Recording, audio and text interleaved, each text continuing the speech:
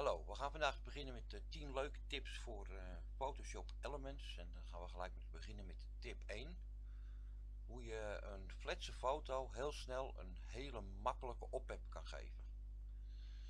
Ik heb deze foto geselecteerd. Ga je de foto staan. En de laag gaan we dupliceren. Dat kan op twee manieren. Je kan op de rechtermuisknop drukken en zeggen laag dupliceren. Dat lukt. Je kan hem ook hier en dan naar de, hele lijst oppakken zeg maar. En dan hier naar het eerste vakje. Dan kan ook hem dupliceren. Je zorgt dat de achtergrond duplicatie uh, dus duplicaat geselecteerd is. En je gaat hier naar boven toe. En dan zeg je vermenigvuldigen. Dan zie je gelijk dat de foto al gelijk een dikke oppeper krijgt. Vind je het nou te veel? Dan kun je de dekking nog verlagen door hier aan het schuifje te zitten en dan zie je zien dat, de, dat het minder wordt. Om dit schuifje te bedienen kun je ook gewoon hierin staan. Hier bedoel ik. En schuiven. Je hoeft helemaal niet te selecteren het pijltje te selecteren. Je kan hier gewoon in dekking gaan staan in het woordje dekking en schuiven. Nou, ik zet hem weer even op 100% want als je nu alleen maar delen van de foto wat minder wil hebben dan selecteer je het gummetje. Je zorgt dat je hier een zacht penseel hebt gezet en je zet de dekking ongeveer op 40%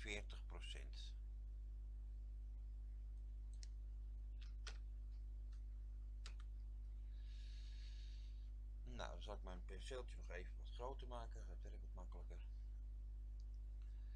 En dan ga je eigenlijk met de muisknop ingedrukt ga je over de foto heen. Alleen de plekken die jij lichter wil hebben. Want dan komt steeds meer. En hoe vaker je dit doet hoe meer er van de originele foto terugkomt. Ik vind het hier nog een beetje te veel. En hier nog. En dit was alweer tip 1 voor vandaag 2. De miniatuur hier rechts, die kun je ook nog veranderen in formaat. En daarvoor ga je hier naar rechts naar de vier streepjes met het pijltje. Je klik je op en je opent deelvenster opties. Nu zie je welke formaten je kan selecteren. Kleintje, een middel, een grote of zelfs geen. Ik selecteer lekker de middelste, vind ik altijd heel handig.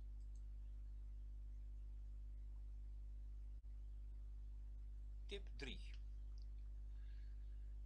uh, als we met een tekst bezig gaan ik zal het even laten zien aan de hand van dit pak gewoon even dit lettertype dat maakt me eigenlijk ook niet veel uit. Ik ga hier in de tekst staan ik druk het woordje zomer in ik geef het een vinkje dan zal ik hem nog iets groter maken dat is allemaal beter te zien zo de spaties hier tussen als je die nou te groot vindt die zijn te verkleinen. Daarvoor ga je naar tekstgereedschap maar eigenlijk zie je hier helemaal niks tussen staan. Dan ga je naar bewerken je gaat naar voorkeuren en je gaat naar tekst. Dan zie je wat vinkjes en eentje staat er open Aziatische tekstopties op, op tonen die klik je aan en je drukt op oké. Nu zie je die hier verschijnen onder je beeld. Nou hier op klik. En ik klik op dit balletje en ik ga voor 50% dan zie je dat de tekst dichter naar elkaar toe. Hoe hoger het getal hoe dichter de tekst op elkaar komt dus ik zet hem op 50 En dat het alweer. Tip 4. Soms wil je een uh, bewerking doen en daarvoor wil je eigenlijk dat deze lagen één laag zijn. Maar je wilt deze lagen nog niet verwijderen. Daar is een heel ander trucje voor. Daarvoor druk je op Ctrl, Alt, Shift en de E. En dan zul je zien dat hier een laag is verschenen waarin alle drie de bewerkingen hieronder in terecht zijn gekomen.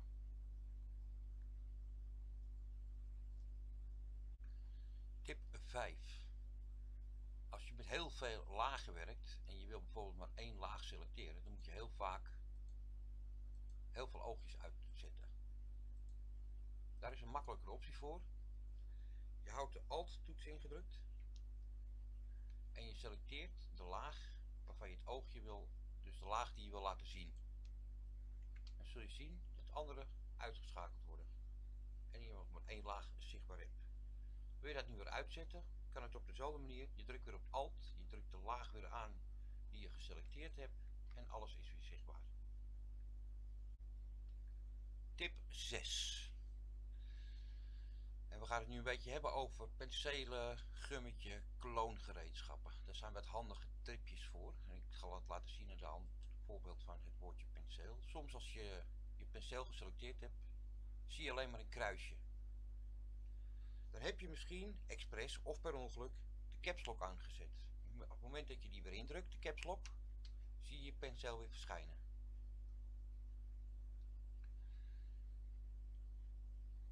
Tip 7. De grootte van je penseel kun je aanpassen op verschillende manieren.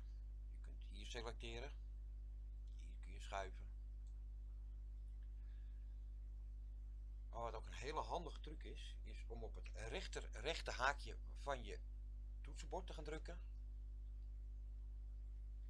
En dan zie jij je penseel weer groter worden. Doe je dat nou met het linker rechte haakje, dan wordt je penseel kleiner.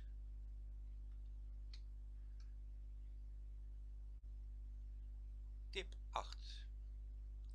Penselen, gummetjes, kloongereedschap. Penselen selecteren kan je hier doen. En dan krijg je een overzichtje met welke penselen je allemaal hebt. Wat ook kan, het is gewoon in je scherm te gaan staan. Dan doe ik even een klein foutje. En op de rechter muisknop te drukken, dan komt hetzelfde menu ook naar voren toe. Dus ik selecteer bijvoorbeeld hier penselen voor speciale effecten. En ik selecteer het bloemetje. En ik ga met het rechterhaakje. Sorry, ik moet dubbel klikken. En met het rechterhaakje ga ik mijn penseel wat vergroten. En ik druk. Wel erg groot. Vind ik het nou te groot, dan druk ik op Ctrl Z. En ik ga met het linkerhaakje weer verkleinen. Zodat ik wel een mooie maat heb. En dan kan ik hier wat bloemetjes inklikken.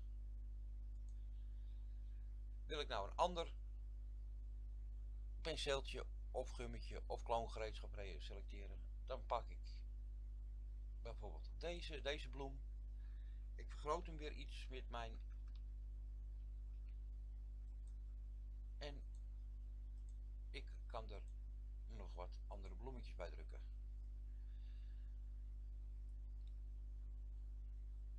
Tip 9. Soms wil je je kleur, je voorgrondkleur, wil je aanpassen aan een kleur in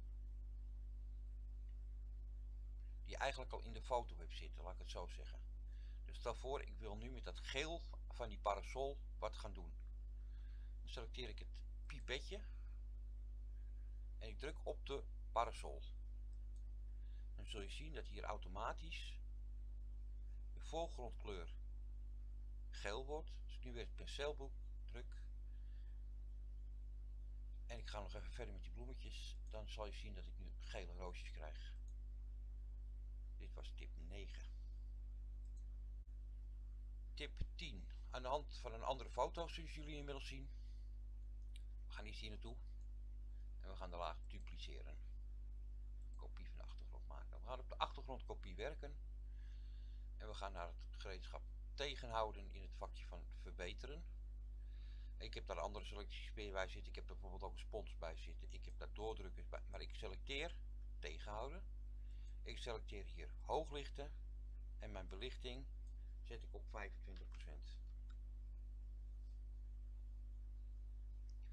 Nu ga ik op het oog staan. En met het rechterhaakje ga ik kijken dat je een beetje net zo groot is als de iris. Ik zet er mooi erop. Ik druk één keer, ik druk twee keer, ik druk drie keer. Je moet zeg maar maximaal vier keer doen, anders wordt het een heel onnatuurlijk oog.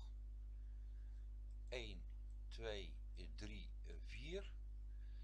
Nou heb ik dus de ogen wat meer sprekend gemaakt. Als ik nou deze laag uitzet, dan zie je het verschil met de ogen. Als je daarmee klaar bent, dan ga je deze laag verwijderen. En je hebt meer sprekende ogen. Dit was tip 10 en het einde van deze les.